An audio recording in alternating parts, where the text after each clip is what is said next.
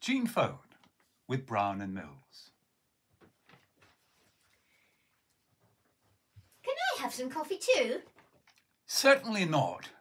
You've got to be 18 to drink coffee. Hey, Grandpa! Get that off! You'll choke to death.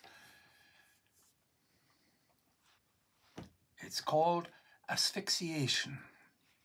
If the brain stops receiving vital oxygen, you could be dead in three minutes.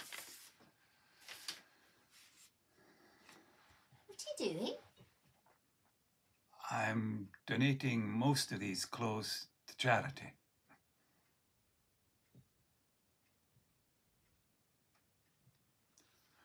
What are you doing? Writing letters to Mum. We're going to burn them, and the ash will go up to heaven and get to her. Absolute nonsense.